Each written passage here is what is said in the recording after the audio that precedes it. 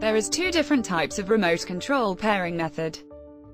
1. Brand ready in system, which mean the remote control brand was already included at application. So, let's see the step for pairing. First, select your remote control brand.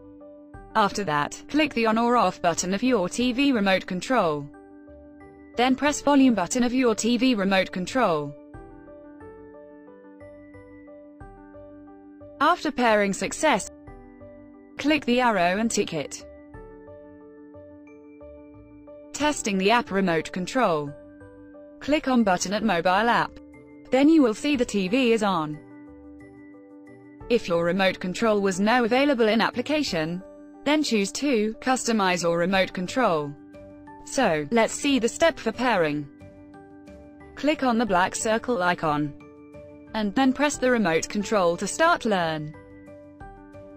Then click Emit button.